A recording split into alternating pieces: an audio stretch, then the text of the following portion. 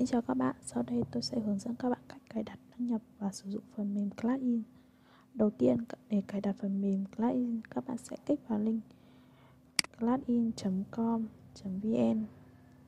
Sau đó ấn vào tải app.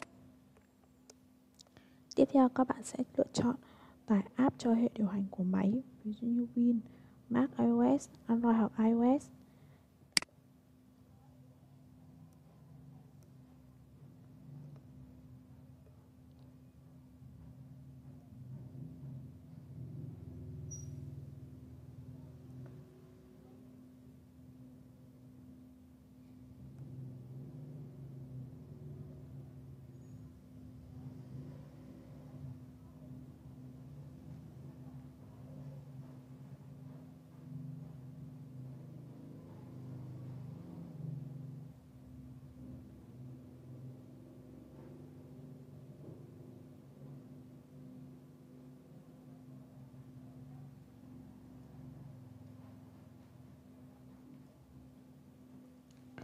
Sau khi các tải app xong, các bạn sẽ vào thư mục Download trên máy tính.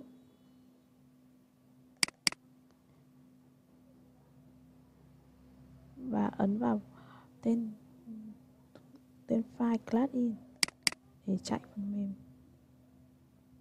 Ở đây các bạn có thể lựa chọn tiếng ngôn ngữ sử dụng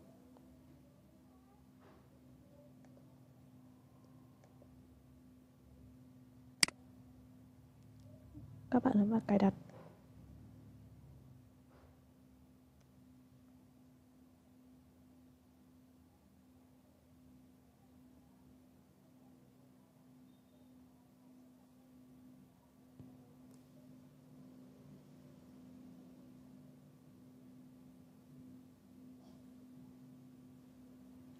Các bạn ấn vào chạy.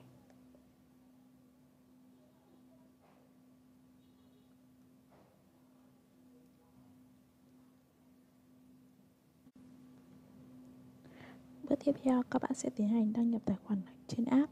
Chương trình sẽ tạo tài khoản cho các bạn trên hệ thống. Thông tin đăng nhập sẽ là số điện thoại của các bạn đã đăng ký với chương trình.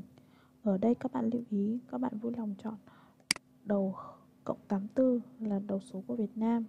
Sau đó các bạn gõ số điện thoại của mình nhưng bỏ số 0 ở đầu.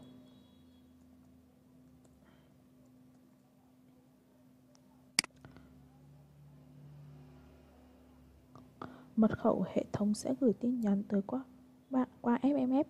Mật khẩu này các bạn có thể thay đổi sau lần đầu tiên đăng nhập trên hệ thống. Để tránh việc phải đăng nhập nhiều lần, thì các bạn có thể lựa chọn ghi nhớ mật khẩu hoặc tự động đăng nhập. Như vậy, các lần tiếp theo thì hệ thống sẽ tự đăng nhập tài khoản của các bạn.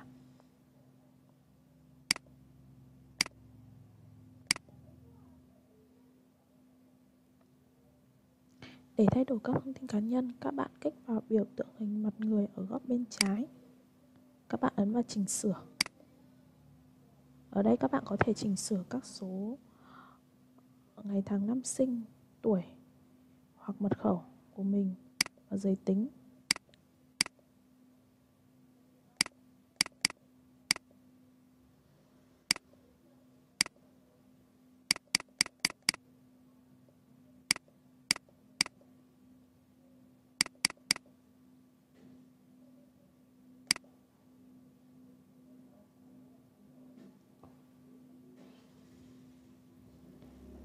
Ở phần mật khẩu, các bạn có thể thay đổi mật khẩu. Các bạn nhập mật khẩu cũ của mình.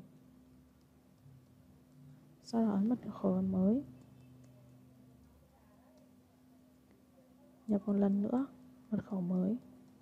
Sau đó, các bạn ấn xác nhận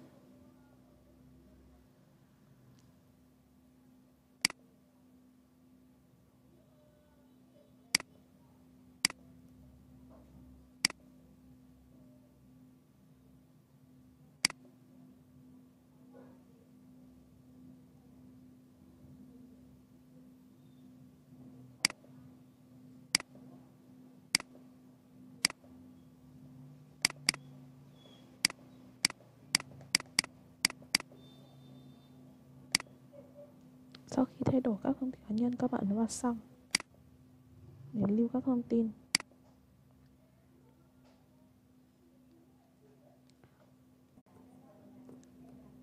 Đến giờ học, các bạn sẽ biểu tượng vào học.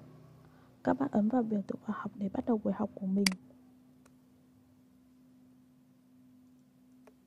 Ở đây các bạn có thể lựa chọn cam hoặc mic.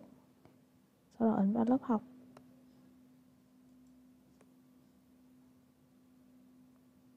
Sau khi vào lớp học, các bạn có thể ấn tắt mic hoặc tắt cam ở góc bên trên hoặc là mở mic hoặc mất cam ở góc bên trên bên phải màn hình.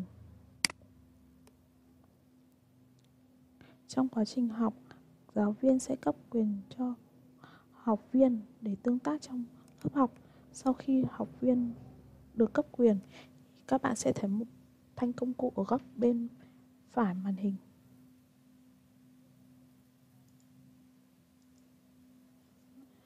Ở góc bên phải màn hình các bạn sẽ thấy một thanh công cụ. Tại đây các bạn có thể lựa chọn biểu tượng hình, cái bút để vẽ lên trên bảng của giáo viên. Hoặc trong trường hợp các bạn muốn sửa thì các bạn ấn vào biểu tượng dụng cúc tẩy. Ở đây kia là rẻ lau. Các bạn phải xóa đi. Ngoài ra các bạn có thể gõ chữ. Các bạn ấn vào thanh công cụ là biểu tượng chữ T để gõ chữ.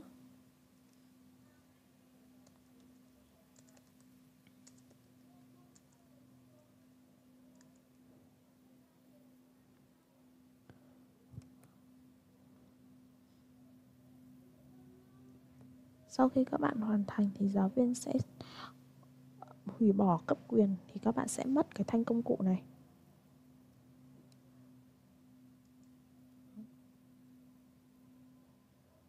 Ngoài ra, trong quá trình học, giáo viên có thể cấp cho mỗi học viên một bảng nhỏ để các bạn có thể chủ động trả lời các câu hỏi của giáo viên.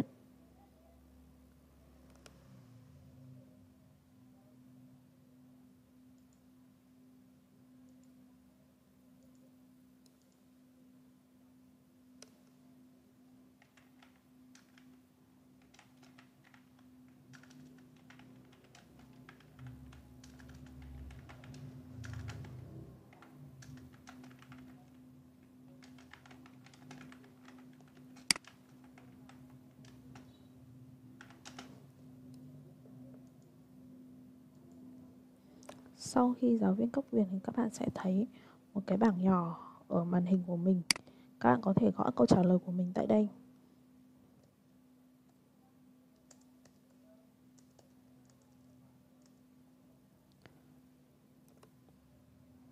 Sau đó giáo viên có thể xem các cái phần câu hỏi của bạn.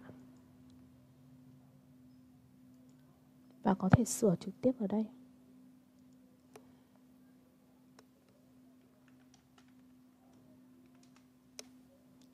Các bạn có thể xem các cái phần trả lời hoặc nhận xét hoặc điểm của giáo viên ngay tại cái phần bảng nhỏ này của mình.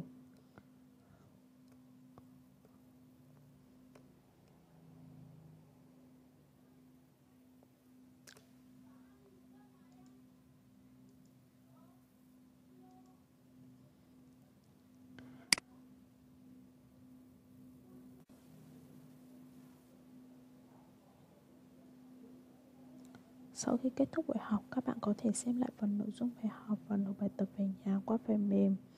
Các bạn lựa chọn mục to do ở thanh công cụ bên tay trái.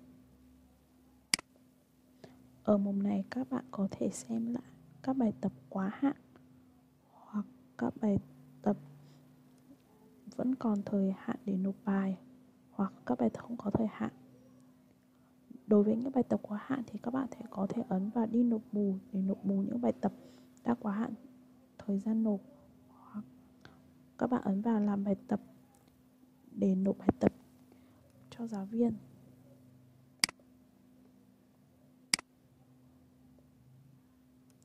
Trong giao diện làm bài tập, các bạn có thể lựa chọn các hình thức nộp bài, ví dụ như gõ trực tiếp văn bản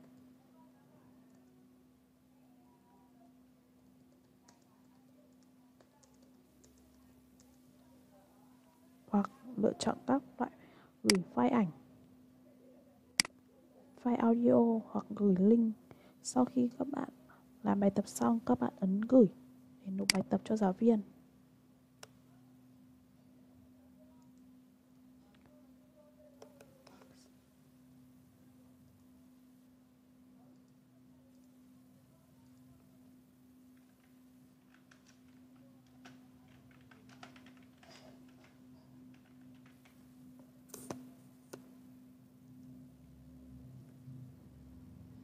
Sau khi giáo viên uh, chấm bài của các bạn thì các bạn có thể xem lại cái phần bài làm của mình và phần nhận xét của giáo viên.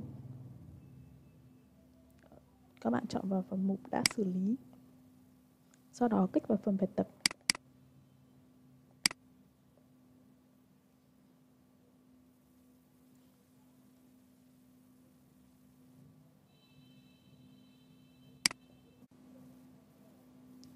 Ngoài ra các bạn có thể trò chuyện hoặc xem các tệp tin giáo viên gửi đến kèm. Các bạn chọn vào phần Classroom, sau đó chọn lớp học của mình. Ở đây các bạn ở mục trò chuyện, các bạn có thể chat với giáo viên. Hoặc các bạn có thể xem các tập tin giáo viên gửi cho mình ở đây. Thank you.